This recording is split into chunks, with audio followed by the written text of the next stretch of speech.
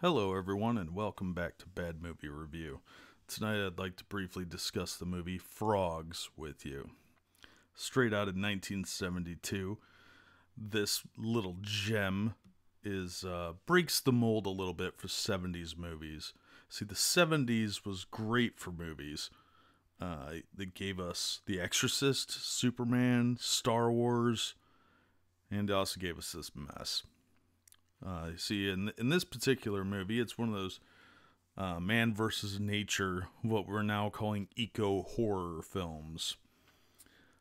Um, the plot revolves around fl- freelance photographer Pickett Smith, who's out taking pictures of pollution as the opening credits roll, but then he's run over by a, a boater named Clint, who uh, has been sort of drinking a little bit from his pull tab can of Budweiser.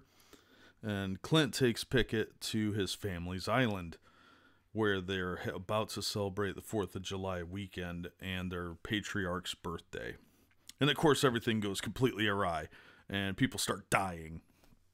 Well, the movie's called Frogs, and we see a lot of frogs, but the frogs don't actually do anything.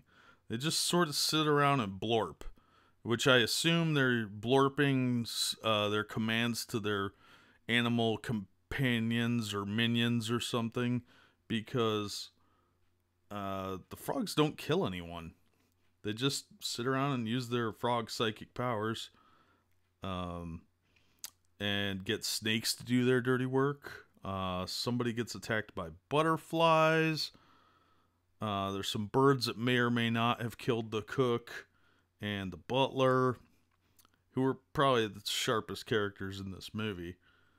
Um, and there's also uh, killing by some alligators. You know, just the usual animal type killings that you would expect, but all at once on a little island where they're getting revenge for pollution. Ooh, scary. Scary frogs using their scary frog psychic powers. No, it's boring as hell. Instead, the frogs just sit around blorping through three quarters of the movie. You get all these great close up shots of frogs, like some nature cinematography is going on here, and maybe a documentary is being made. But no, there's interspersed with parts of uh, Sam Elliott and Joan Van Ark having a little quasi 70s romance sort of thing, uh, longing stares and looks and whatnots. And Sam Elliott does a really good job. He's a great actor, but really underused. And some of the dialogue is a little rough, and a lot of the acting is pretty bad. So, this one was a miss for me cinematography was good. The shots were all really good. Good camera angles. Some cool shots of light coming through the trees and lots of really good frog footage if you're into that sort of thing. And there was even an interracial couple, which for 1972 was still kind of risque. Um, but of course, all those people died. Um, one of them, I think the girl died by a snapping turtle. Somebody got killed by a snapping turtle. Uh, it was just such a train wreck it's not that the concept of frogs killing people bothers me because you know it might have been amusing to make fun of or so, or if it was done well enough it could have been funny but it was just so boring yeah okay people talking people talking then frogs sitting there staring at you blorping and doing nothing, maybe hopping around a little bit. They brought in all these stupid frogs, and the frogs don't even. You don't have anybody pulling rubber frogs off of their necks or anything cool like that. There's not a giant frog that comes up like the big frog god or something, some sort of Lovecraftian nightmare. Nope, none of that. Not in the budget. This was probably a TV movie.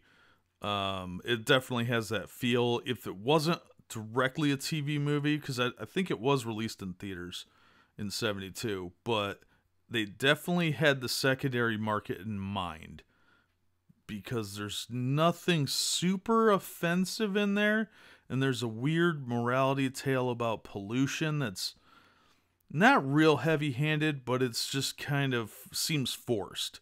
And it would have been better as just a man versus nature sort of thing without the uh, pseudo political overtones. Otherwise, it was just a boring movie, and the death scenes were ludicrous. The, uh, they didn't make a lot of sense. Uh, the people were all incredibly dumb, which probably didn't help. Maybe they're supposed to be dumb.